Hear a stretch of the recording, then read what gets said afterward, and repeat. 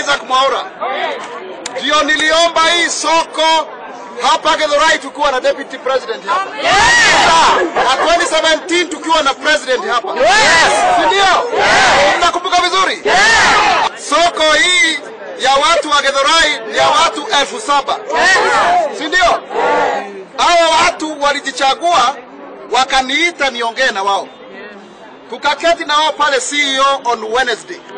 Sikuwa najua walikuwa nataka watoke tukishaongea, tukakuja hapa Mweki Primary tukatafuta eka tisa na nusu ya shamba.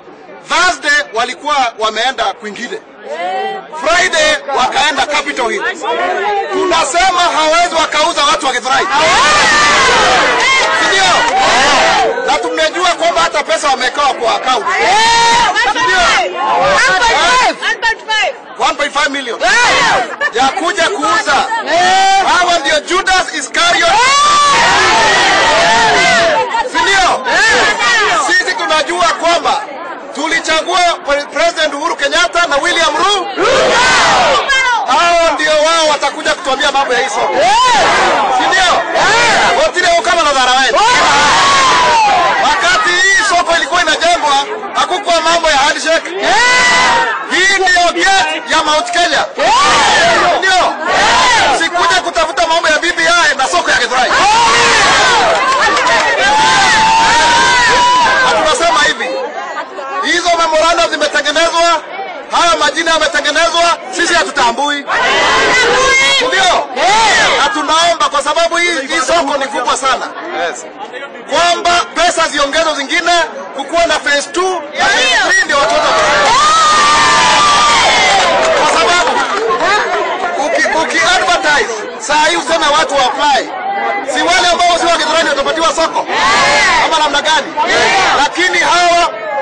Wangu wa Githurai wanajuana, wako na viongozi wao wale genuine, si hao fake, si ndio?